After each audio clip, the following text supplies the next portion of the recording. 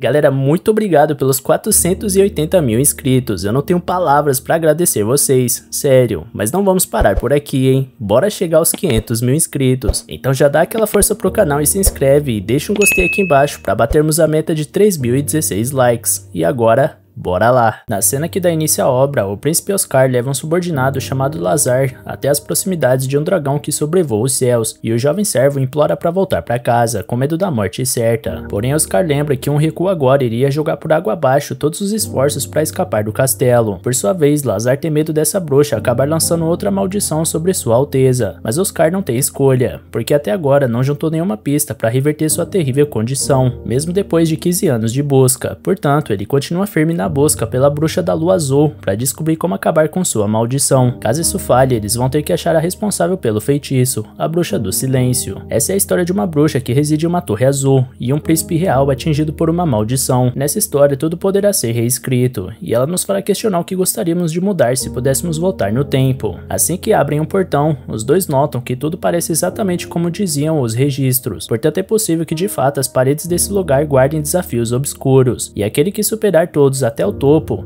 terá seu desejo atendido pela bruxa. Como é uma jornada extremamente perigosa, o príncipe pede para o servo esperar ali embaixo e promete estar de volta antes do pôr do sol, mas o jovem não quer deixar seu mestre sozinho nesse lugar. Logo no segundo andar, o nobre se aproxima de uma enorme placa de pedra com escrituras, e Lazar alerta sobre as coisas que cercam o piso. Porém, Oscar diz que vai ficar tudo bem, porque elas não são venenosas, e encara o primeiro desafio que mostra uma antiga teoria matemática estudada há cerca de 100 anos numa pequena nação oriental, famosa por nunca ter sido solucionada solucionada. Porém, isso ficou no passado, porque a teoria foi resolvida há 10 anos. Então Oscar apresenta a resposta e a primeira placa se desintegra. Lazar pergunta mais uma vez se não é melhor ir embora agora, mas o príncipe está começando a gostar do desafio, até que um círculo mágico surge debaixo deles e absorve os dois. No topo da torre, Litola, uma serva da bruxa da lua azul, anuncia para a mestra que chegaram os primeiros desafiantes em muito tempo. Mês passado, um viajante ficou sem tempo depois de não ter conseguido resolver a primeira placa de pedra. Então, como poucos desafiantes têm chegado, a serva questiona se a mestra gostaria de observar os de agora, porém ela prefere esperar que eles subam por conta própria e manda Litola fazer seu trabalho caso os aventureiros falhem. Sozinha, a bruxa reflete que a grande maioria progride rapidamente até perder a vida para a primeira besta guardiã. Enquanto isso, o príncipe Oscar corta uma besta no meio, supondo que ela era animada por magia, portanto não era real. Lazar comenta que a falta de medo do príncipe tá deixando ele com mais medo ainda, mas Oscar permanece frio diante das circunstâncias. Indo além, ele se aproxima da beira e questiona se morreria caso caísse, e Lazar está cada vez mais assustado com o comportamento do mestre. Avançando por entre a enorme escadaria, o garoto acredita que eles já tenham chegado na metade da torre, e Oscar aproveita para lembrar que seu bisavô foi o último a chegar no topo há 70 anos atrás. Lazar conhece essa história quando 10 homens fizeram a escalada. Contudo, apenas o rei Regius, que reinava na época, alcançou o topo. Pegando o gancho, Oscar acredita que vai refazer os passos do seu bisavô até o final dessa torre. Assim,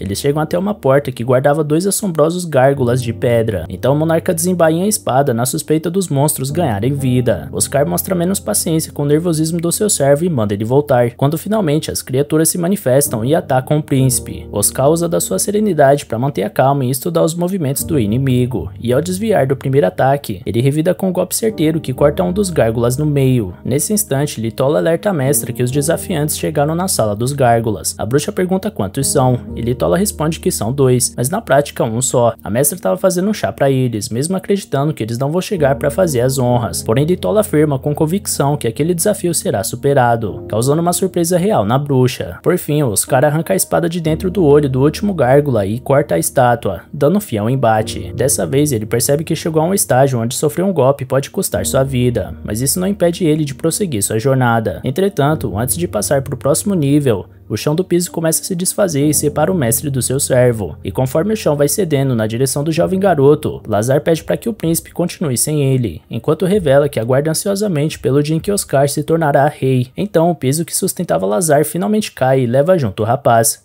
cai nas sombras de um buraco sem fim. Sem ter como evitar a queda, o futuro rei se vira e mantém a determinação de atingir o topo, abrindo a porta rumo ao próximo estágio da torre. Dessa vez, o recinto não se parece nada com as salas que outrora guardavam demônios de pedra, até que Oscar enxerga uma mesa com um bule de chá. Nesse instante, uma figura misteriosa convida o homem a se sentar com ela e se apresenta como Tinasha, embora ninguém chame ela pelo nome verdadeiro. Oscar questiona se ela é a bruxa por conta da aparência jovial, mas Tanisha acha indelicado questionar a aparência de uma bruxa. Logo ela avisa que o companheiro do homem está dormindo lá embaixo, sem nenhum tipo de ferimento. Ele pergunta se ela usou magia para alterar a aparência, mas Tinasha se ofende de novo com essas perguntas pessoais. Oscar argumenta que a mulher possui centenas de anos, mas ele não vê nenhuma ruga nela. Então a bruxa explica que seu corpo não sofre as marcas do tempo no compasso dos humanos e que seu corpo simplesmente parou de envelhecer, por exemplo. Mudando de assunto, Tanisha quer saber o nome desse bravo guerreiro que foi o primeiro a subir ao topo da torre praticamente sozinho. Então o homem pede perdão pela grosseria e se apresenta como Oscar Lieth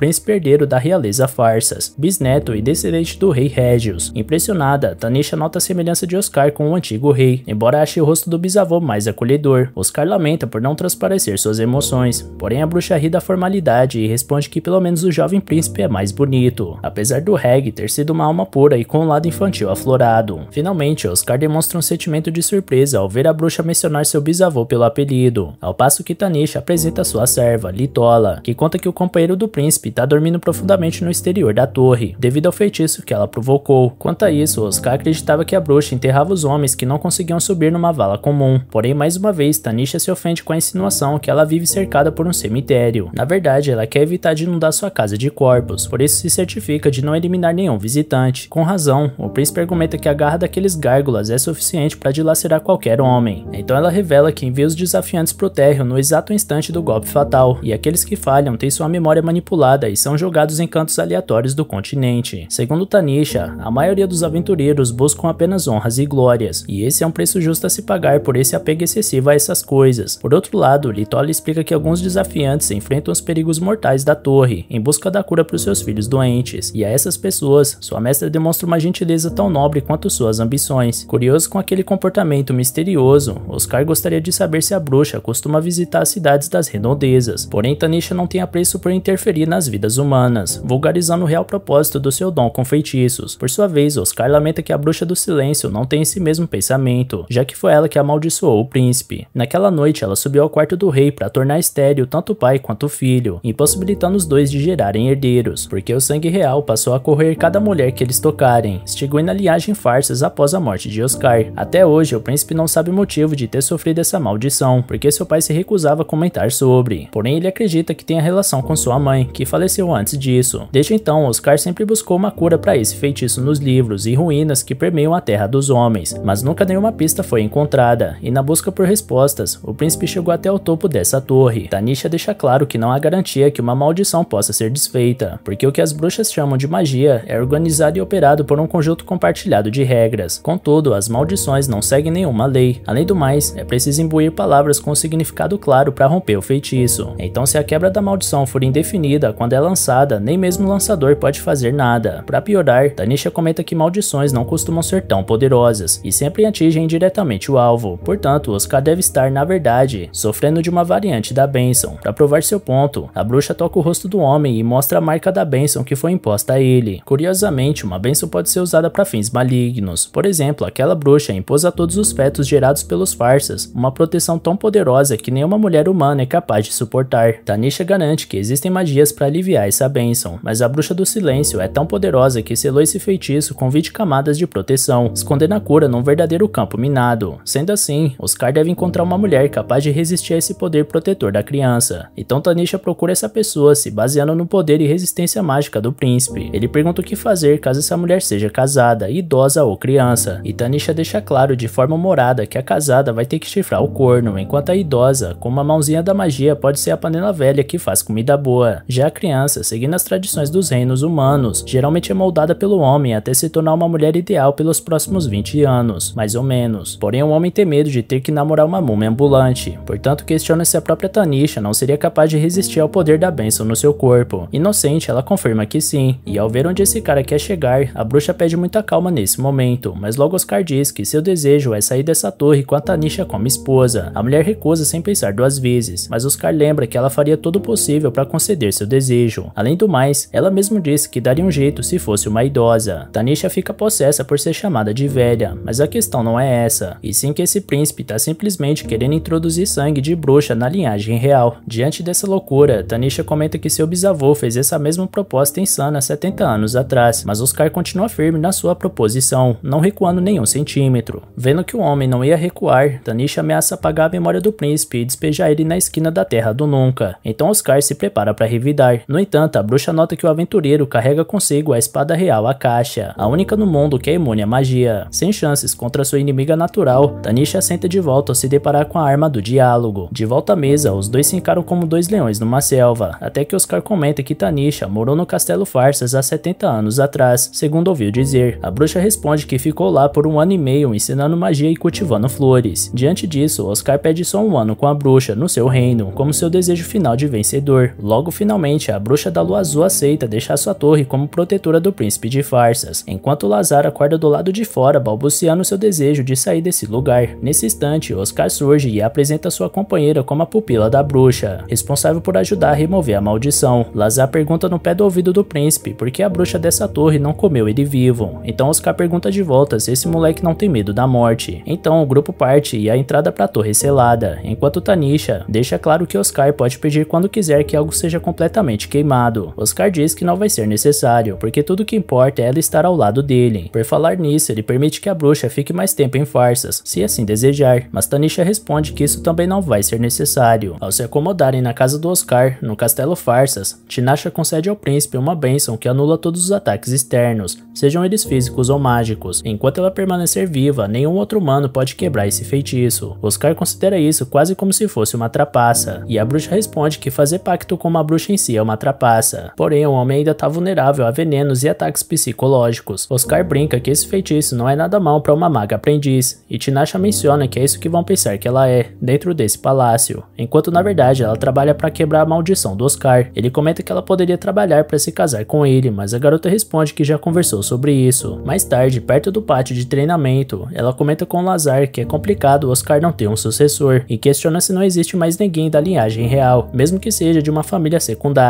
Em resposta, Lazar conta que há 15 anos houve uma série de casos em que bebês desapareceram por todo o reino, quando todos os primos do príncipe Oscar sumiram. Como resultado, não sobrou nenhum membro da realeza mais jovem que ele. Enquanto isso, ao acender um lustre de velas, o mago Cave pergunta para Silvia se ela teve a mesma sorte, mas a garota tá passando perrengue para fazer o mesmo, até que ela quebra o suporte do lustre e Tinasha tem que ajudar. Silvia fica impressionada com o feitiço sem recitar daquela mulher, enquanto Cave comenta que o príncipe trouxe essa pessoa da Torre da Bruxa. Após ajudar Lazar com o carregamento dos livros, Tinasha para para observar o treinamento com espadas no pátio e pergunta quem são os dois duelando. Lazar conta que são o General Alce e a oficial Meredina, e que esse jovem general é reconhecido como o mais habilidoso de todos, ainda que o príncipe Oscar seja mais forte que ele. Tinasha não esperava outra coisa de um homem que conquistou sua torre, e para surpresa do servo, logo ela desce para praticar a espada pessoalmente contra o tal general. No decorrer da luta, Alce solta umas risadas amarelas por não acreditar que uma simples amadora seja tão eficiente. Então ele comenta que se ela deixasse de ser maga, seria muito útil na linha de frente. Após o duelo, Alce comenta com a oficial Meredina que ficou claro que o príncipe não trouxe essa mulher só pelo fato de gostar dela. Meredina ouviu dizer que ela é aprendiz da bruxa e considera que isso seja um problema. Então o general brinca que ciúme não combina com a garota, que se vinga do rapaz pela brincadeira de mau gosto. Por falar em aprendiz de bruxa, coincidentemente, Litola surge no pátio do castelo de Farsas em busca da mestra, e ela fica feliz por Tinasha ter encontrado uma boa pessoa pro pacto e tá se divertindo tanto. Porém existe uma coisa que ela gostaria que a bruxa soubesse. Pouco depois, Tinasha entra no escritório do príncipe com uma vestimenta de batalha e avisa que vai se ausentar por dois ou três dias. Oscar comenta que fez um pacto e que não pode se afastar da garota, então pede que ela pelo menos avise para onde tá indo. Quando ela explica que vai viajar pro Lago Mágico em Drusa, Lazar entra em desespero, porque foi lá onde a besta demoníaca foi selada pela bruxa há 70 anos atrás. Tinasha lembra bem disso, e também sabe que naquela área grandes surtos fortes de ondas de alto poder mágico assombram o local. A intenção dela é descobrir o responsável por isso e o que ele tá tramando. Nesse caso, Oscar quer ir junto na companhia de soldados qualificados, mesmo que Tinasha tenha prometido garantir a segurança apenas do príncipe. Dito isso, a bruxa dá uma hora para ele organizar sua partida. Enquanto isso, no tal lago mágico, Valt observa a pesada neblina no aguardo de algo que não é visível, mas que está prestes a começar. Ele espera que a bruxa da Torre Azul perceba em breve. A moça ao seu lado questiona se essa bruxa realmente vai vir para um lugar tão distante, porém Valt não tem dúvidas, porque ela possui olhos por todo o continente e está na busca pela mesma coisa que ele. Uma hora depois, os preparativos foram terminados, e Silva fica gamada no dragão no ombro da Tinasha. Então ela se apresenta para a bruxa e tenta tocar a fera, porém parece que ela não tá muito afim. Oscar pergunta o motivo de levar um dragão, e ela responde que pretende montar nele caso vá sozinha. O príncipe comenta que esse monstro não parece grande o bastante para isso, e depois informa ao grupo de expedição que o objetivo é realizar uma investigação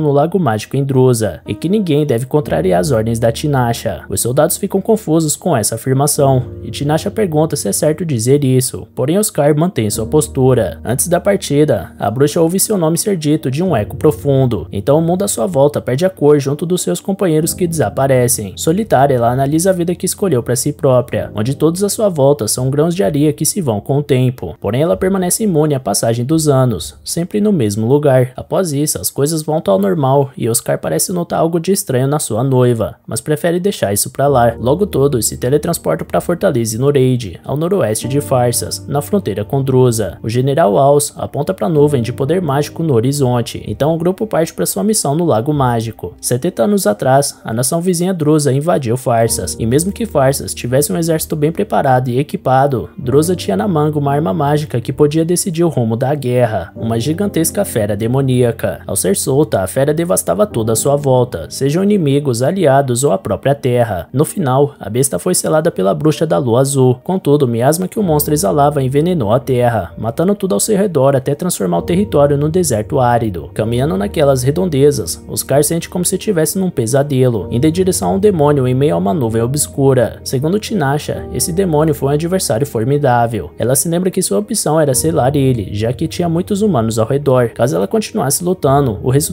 seria catastrófico. De repente, Tinasha para a passada e manda alguém aparecer, porque ela sabe que ele está presente. Com isso, os soldados entram em estado de alerta, e todos escutam uma risada maligna no meio da neblina, que se aproxima até se revelar como o mago de Drusa. O mago fica feliz de reencontrar Tinasha ainda vivo, e com toda sua beleza estonteante, ele sente como se tivesse sido transportado para 70 anos atrás, quando conheceu a senhorita bruxa da lua azul. Ao escutar o nome da bruxa, Silvia fica apavorada, enquanto Tinasha debocha da aparência velha e desgastada do feiticeiro de Drusa, porque naquela época ele era só um moleque. O mago reconhece que não tá no auge da beleza, mas infelizmente nem todos podem manter um rostinho bonito como a bruxa. Tinasha comenta que o homem parece em tudo com seu antigo mentor que ela cortou, e uma vez que o mago parece orgulhoso disso, ela promete cortar ele também para ficar ainda mais semelhante com seu mestre. Diante da ameaça, o velho recua, porque sabe que não tem chances contra a bruxa, mas deixa claro para todos os presentes que eles deveriam ir embora o quanto antes, mas caso se recusem, ele pode convencer eles trazendo uma morte ou duas. Junto disso, o bruxo invoca uma magia que dispara projéteis no grupo de expedição como se fosse uma chuva. Oscar repele algumas flechas mágicas usando sua espada, porém parte da equipe é morta no ato. Meredina estava prestes a ser atingida, mas o príncipe absorve o projétil mágico usando sua imunidade dada pela bruxa. Nesse meio tempo, Tinasha cumpre sua palavra e corta a cabeça do mago de Drusa, mas ele solta a própria cabeça como se nem pertencesse a ele e vai embora gargalhando. Após a fuga, Tinasha explica que o velho é um dos magos que controlava a fera,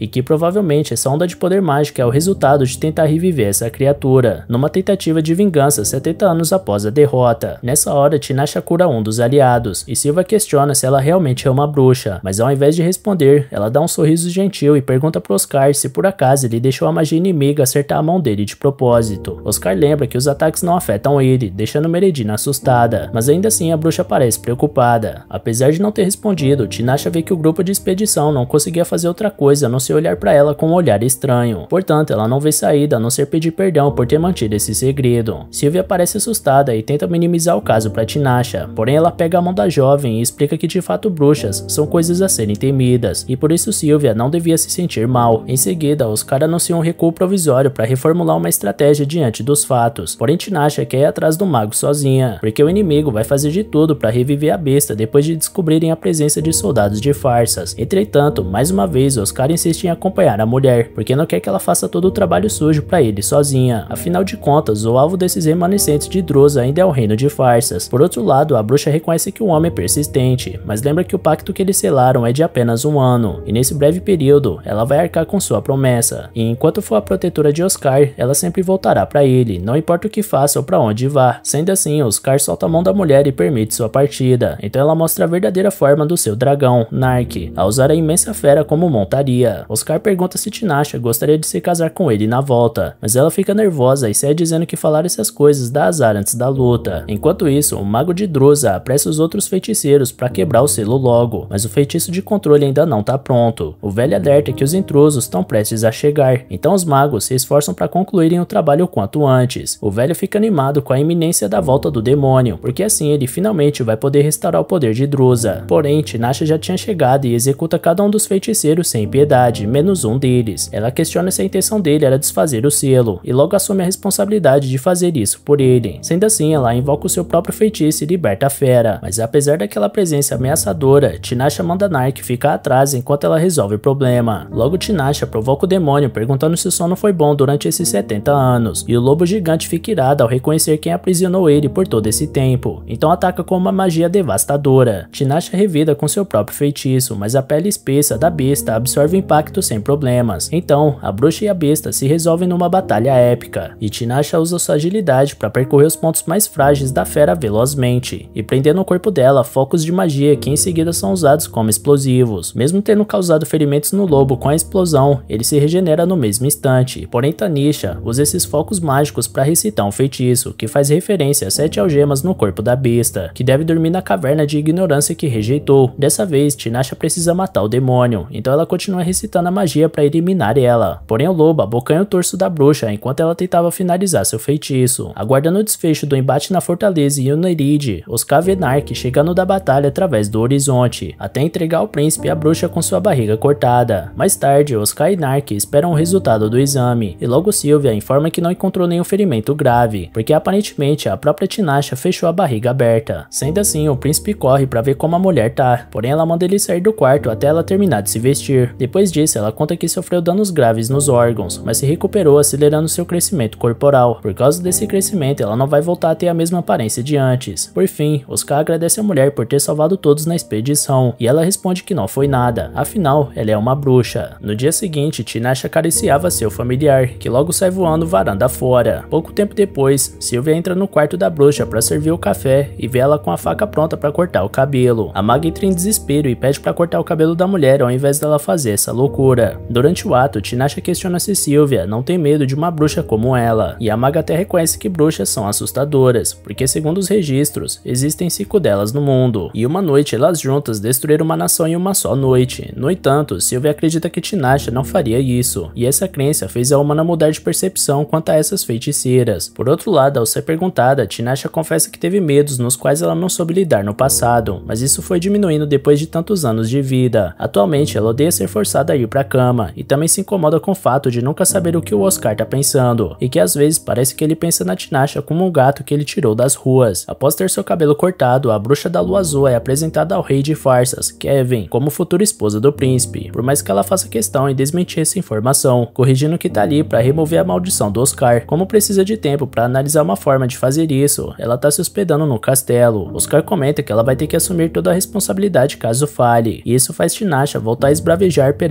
o rei, que comenta com Lazaro o quanto esse casal se dá bem. Nesse meio tempo, os misteriosos Volta e Miralles continuam nos entornos do lago mágico de Drusa, e Volt acredita que foi sorte a bruxa da lua azul ter sofrido um ferimento grave ao derrotar o demônio, porque isso deu a chance deles possuírem essa pedra vermelha. Do nada, outro homem surge, dizendo que pensou que fosse lidar com o cachorrinho das redondezas, mas parece que aquela garota já cuidou disso. Valt responde que ela tá procurando pelo mago de olho verde há muito tempo, mas ele entende que ele deve procurar a bruxa no momento certo. Afinal, ela quis ver ele esse tempo todo. Valt ressalta que em todas as histórias esse homem trata a bruxa muito mal, mas quando o mago de olho verde questiona de onde ele tirou isso, Valt não entra em detalhes e diz que é só um mero espectador. No entanto, o mago menciona que o rapaz parece ter seus próprios planos, então Valt explica que o único propósito do seu clã é ajudar a realizar eventos que estão para chegar, nada mais que isso. De toda forma, o mago não permite a partida da dupla, porque a bruxa é especial para ele e nenhuma intromissão será permitida. Dito isso, Valt lança uma magia para para proteger Miralles, porém é atingido por um feitiço que desintegra seu corpo. Enquanto isso, na floresta Bio, a nordeste de Farsas, Oscar leva Lazar ao local onde ocorreu o incidente. Como sempre, Lazar se mostra receoso, porque nove aldeões acabaram mortos por ali, e seus corpos foram encontrados secos e enrugados. No entanto, é por isso que a causa precisa ser descoberta o quanto antes, na opinião do príncipe. Aproveitando a ausência da Tinasha, Oscar vai ter mais liberdade para agir como bem entender, mas tem que evitar sofrer ataques para a bruxa não ser alertada, com o dano na barreira defensiva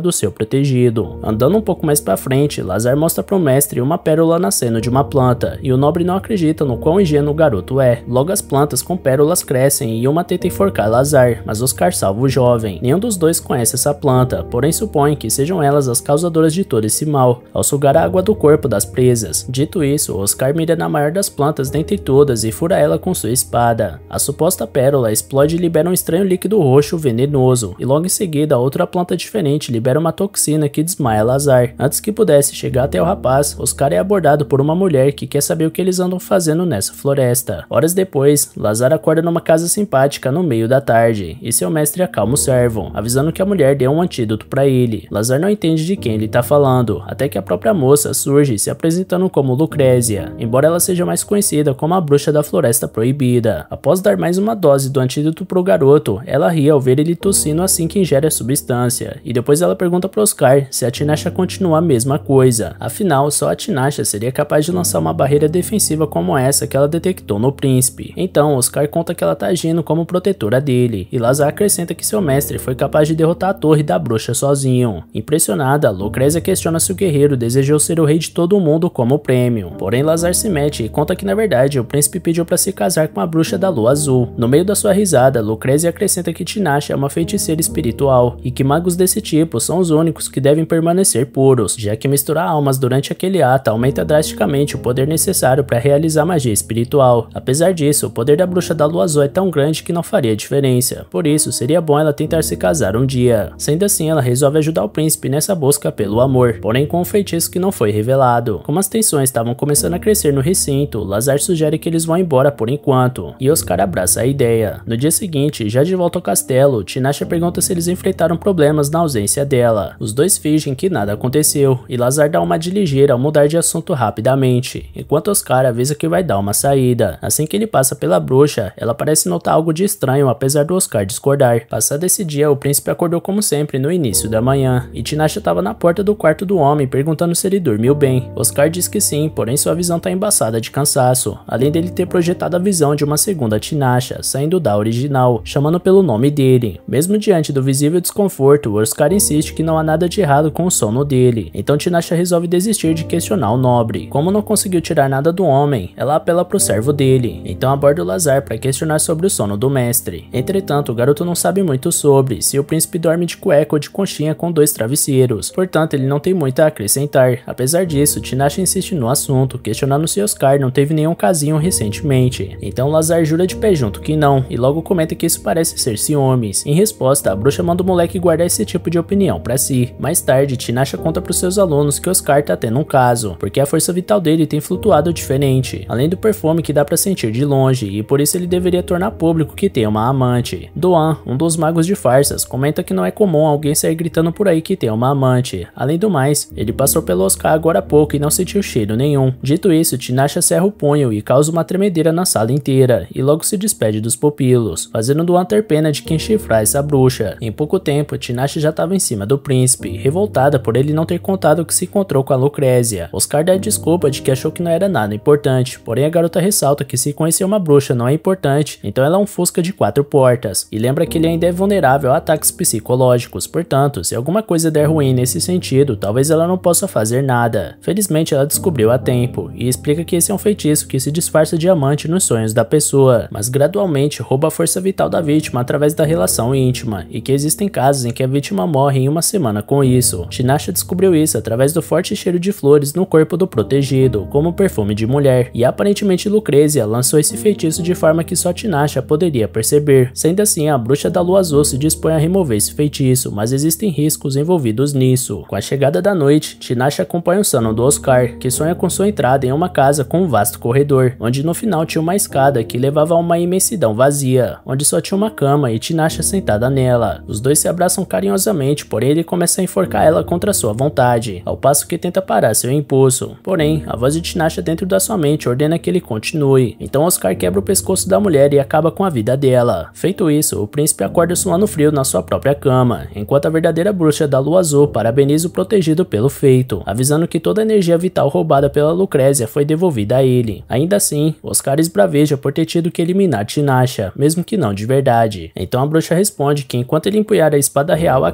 caixa, algum dia ele vai ter que eliminar ela na vida real. Sem se explicar, ela deseja uma boa noite de sono ao príncipe e vai embora. Sem perder tempo, Tinasha bate na porta da Lucrécia para cobrar limites para esses fetiches doentios. Em sua defesa, a bruxa da floresta argumenta que doentio é a maneira como Tinasha quebrou a maldição, com o enforcamento. A bruxa da lua azul diz que essa foi a forma mais eficaz e mais rápida, e questiona o motivo da outra bruxa ter feito isso. Para Lucrécia, isso foi como uma pequena saudação depois de tanto tempo, e ao entregar uma bebida para a velha conhecida, ela pergunta se poderia ficar com aquele belo homem, caso a colega não queira. Tinasha manda ela levar se quiser, mas logo volta atrás ao lembrar que seria ruim introduzir o sangue de outra bruxa nesse caso. Com isso, Lucrécia percebe que isso é coisa da bruxa do silêncio, e já prevê o trabalho que vai dar para romper essa maldição. Por isso, como pedido de desculpas, ela passa para Tinasha o sangue e o creme do Oscar, porque segundo ela, esses seriam os mais afetados pela maldição. Por sua vez, Tinasha entende que só com uma picada a gente tira o sangue de alguém, ela só não sabe com quantas picadas se retirar outra substância. Falando disso, Lucrécia ressalta que o feitiço que jogou no Oscar não estipulava que deveria ser a Tinasha nos sonhos, mas sim refletir os próprios desejos do homem. Diante disso, a bruxa da Floresta Proibida acredita que realmente aquele príncipe gosta da colega. Algum tempo depois, Tinasha se encontra com Oscar no quarto dele, e sem cerimônia ele chama ela para perto e coloca a garota no colo junto dele na cama. Então ele pede desculpas e a bruxa aproveita para fazer o mesmo. No dia seguinte, Oscar se juntou aos soldados no pátio de treinamento para participar das atividades. Após derrotar mais um soldado do regimento, é a vez do general Aus tomar a frente contra o príncipe, mas ele também é vencido sem maiores dificuldades pelo talentoso príncipe de farsas. Em busca de um desafio maior, o herdeiro ao trono vê Tinasha passando e convida ela para um duelo. Como ela recusou de imediato, o Oscar permite o uso de magia, então a mulher muda de ideia, enquanto se questiona se será esse homem capaz de um dia matar uma bruxa como ela. Acima de tudo, ao se apresentar para o desafio, ela exige que Oscar use a espada real a caixa nessa luta. Então o embate finalmente começa. Logo no início, Tinasha lança uma magia contra o oponente que emanava vários projéteis de energia, fazendo ele ter muito trabalho para evitar ser atingido. Então a mulher aproveita essa distração para atacar o adversário com suas espadas. Depois da luta, ela cura o príncipe de farsas, enquanto Meredina aprendia nesse dia o que significa usar magia no combate corpo a corpo. Aos ressalta que a maioria dos magos ficam na retaguarda lançando magias, mas que nunca tinha um que assumisse também a frente de batalha. A oficial finaliza dizendo que a bruxa estava relaxada demais nesse duelo, parecendo que estava ensinando um adversário. E de fato, Tinasha ficou alegre quando percebeu que Oscar enxergava uma videira mágica invisível, logo antes de anunciar o fim da luta. Quando começou a receber a cura, o príncipe perguntou se Tinasha pegou leve no duelo, porém ela leva em conta que o foco necessário para os encantamentos requer muito esforço, além de ter evitado de propósito os combates corpo a corpo por receio de ser derrotada. Oscar responde que fez o mesmo, porque não queria matar a bruxa. Ela que enxerga o humano como ingênuo por pensar assim. Por fim, quando ele questiona se ela deseja morrer por acaso, Tinasha responde que ainda tem que quebrar a maldição do Oscar antes disso, e ele deixa claro que preferia passar por tudo isso casado com a bruxa, que mais uma vez recusa o pedido e vai embora. Pouco tempo depois, Oscar recebe uma carta da pequena nação Cusco, ao norte, que deseja conhecer a bruxa da lua azul. O príncipe quer saber como descobriram da estadia da bruxa no castelo de Farsas, mas o rei não sabe dizer. De toda forma, ele coloca o príncipe para resolver esse assunto. Logo, o enviado de Cusco aparece no reino, se apresentando como Kagar e solicitando uma audiência com a bruxa da lua azul. Oscar nega a existência de uma criatura dessas no território de Farsas, mas o enviado não tira o pé da sua convicção e ainda provoca dizendo que adoraria ver a bruxa Et, o que deixa Oscar surpreso por ouvir um nome diferente para Tinasha.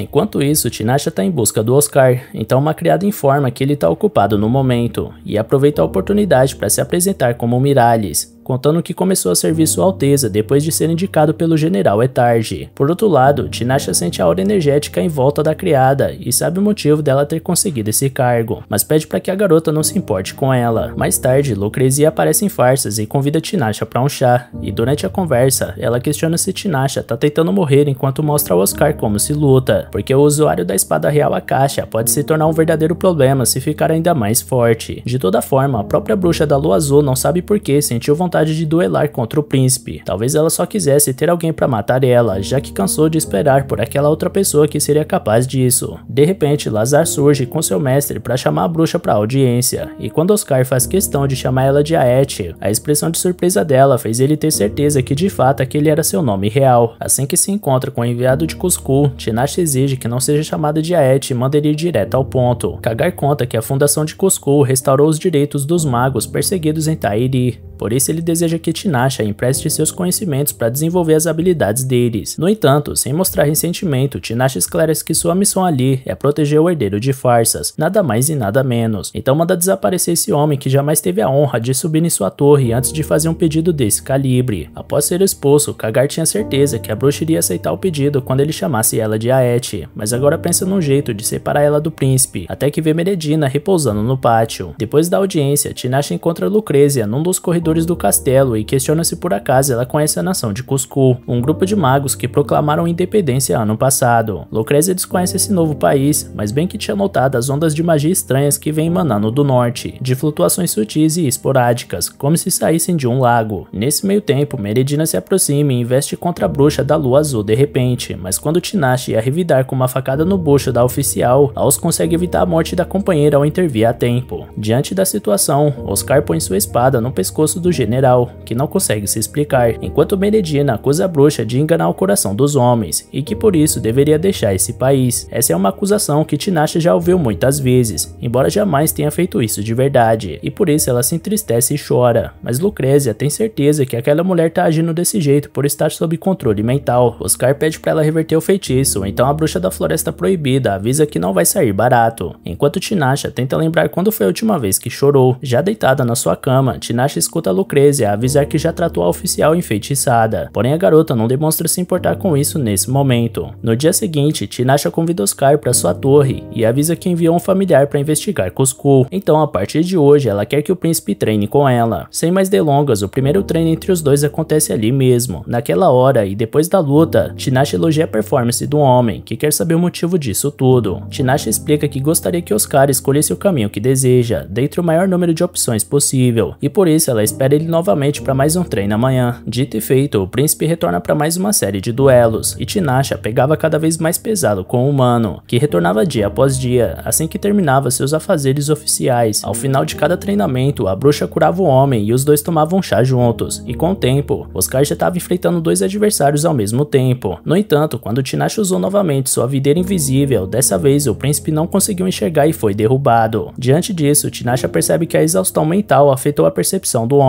que não conseguiu ver o que antes tinha visto na luta contra ela no palácio. Dito isso, Oscar comprova o ponto da bruxa ao desmaiar no ombro dela, obrigando a garota a deixar ele em algum canto por lá. Quando acorda sem entender nada, Oscar sai de onde foi deixado e se depara com a bruxa da lua azul na varanda mais alta da torre. Ele toca na cintura da bruxa por trás e questiona por que ela não virou um tapão na cara dele. Então Tinashe explica que já esperava isso do rapaz, mas caso se incomode ele, é só se controlar. Em seguida, ela dá um chá com 3 kg de açúcar para recuperar a fadiga do seu pupilo.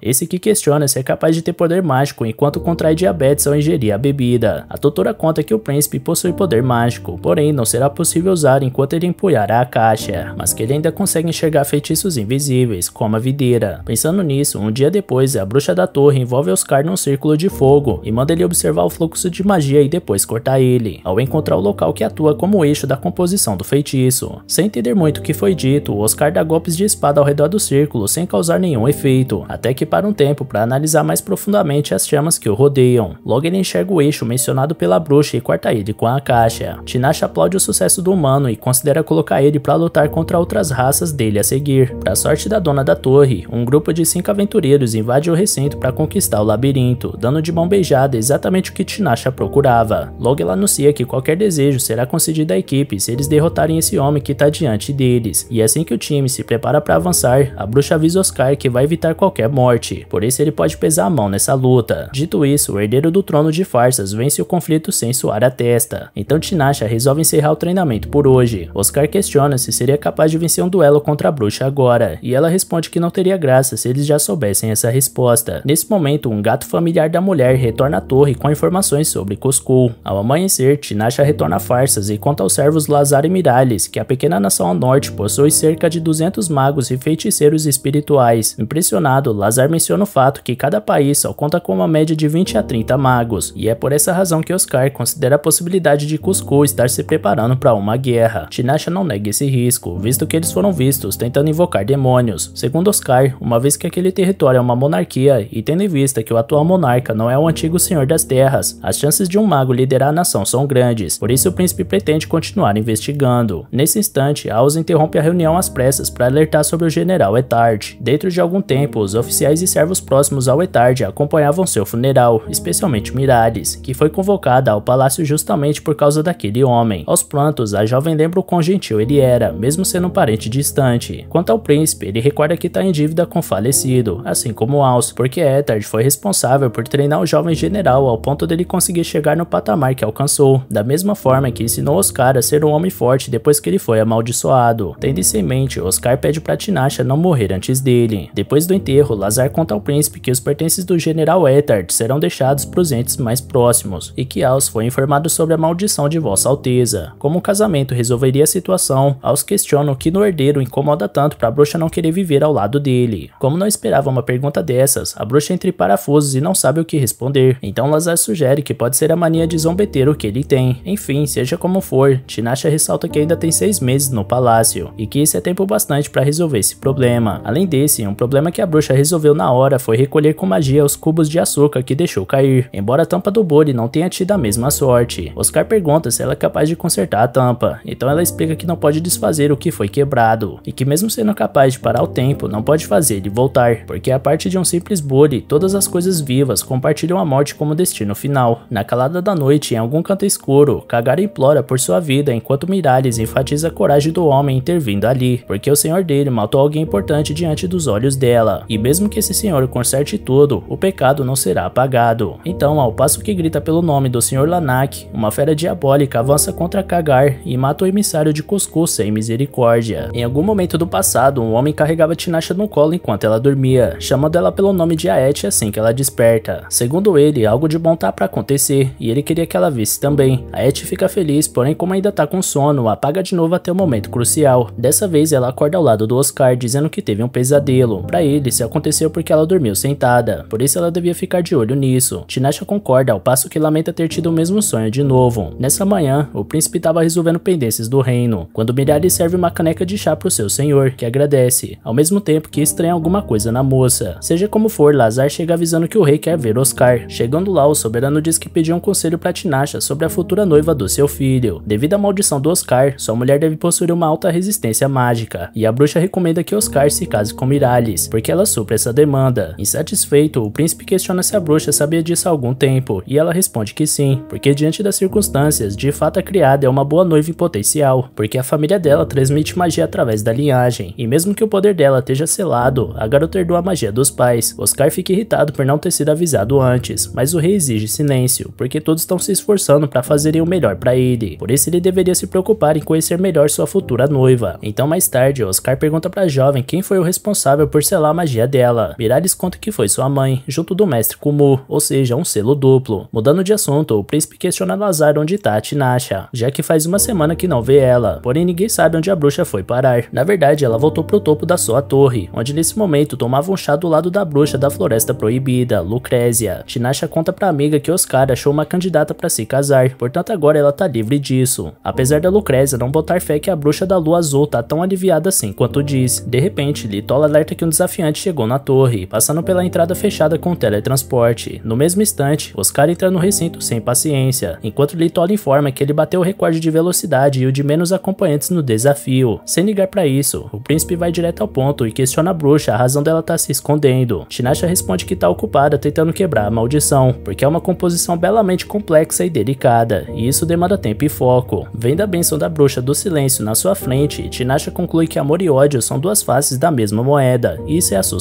Vendo que ela tá de fato ocupada, Oscar apenas pede para ela aparecer de vez em quando para fazer o jantar para ele, quando puder, e a bruxa aceita. No dia seguinte, ela tava tomando um chá no jardim do castelo de Farsas com o Nark, até que Aos surge para avisar que nada encontrado nos pertences do general Etard tá ligado a Miralles, nem mesmo o passado da garota, a qual ele pesquisou sobre, por isso ele não acha sábio candidatar ela como princesa. Tinasha responde que procurou candidatas por todo o continente, mas as únicas viáveis eram as bruxas. Aliás, nenhuma mulher possuía tanto poder quanto matar Miralles. Por isso, o general acredita que ela tá escondendo alguma coisa. Diante disso, Tinashe não sabe como agir, porque não descobriu se ela tá atrás da família real de farsas, ou se sua intenção é afastar a bruxa da lua azul do reino. Falando nisso, a criada passa pelo pátio nesse instante, então os dois aproveitam para descobrirem a verdade sobre ela. Sendo assim, eles fingem que estão tendo um caso atrás de uma árvore, e assim que Miralles vê a situação e se retira, o guarda sabe que ela não vai contar nada pro príncipe se estiver atrás dele, mas caso esteja atrás da Tinashe, ela vai contar. O problema é que não foi só a criada que viu isso acontecendo. Ao subir no castelo, Miralles vê Oscar atravessando o corredor com raiva. Em pouco tempo, o príncipe chama Tinashe e pergunta o que ela fez hoje. A bruxa responde que fez as análises de sempre e tenta tocar o rosto do príncipe para saber o motivo dele estar tá de cara fechada. Porém, Oscar impede e coloca nela um item de selamento com propriedades iguais às da caixa. Após isso, ele justifica que esperou pacientemente, mas até sua paciência tem limites, porque ele não trouxe a bruxa até ali para entregar ela para outro homem. Dito isso, Oscar pega Tinashe no colo, fazendo ela se lembrar do sonho que tanto se repete na mente dela. Isso apavora a bruxa. Por isso, ela dá um tapa na mão do homem e quebra todos os vidros do quarto dele. Então o herdeiro de farsas consegue acalmar a mulher antes que o pior aconteça. Ele assume que sua intenção era dar um pequeno susto nela, e que foi uma coisa de mau gosto. Ainda por cima, ele admite que deu uma surra no Alce por pensar que ele estava tendo um caso com a Tinasha, travando 10 duelos seguidos de treino com ele. Tinasha explica tudo e pede pro príncipe se desculpar com o general, mas de toda forma, Oscar não quer saber de ninguém omitindo informações sobre a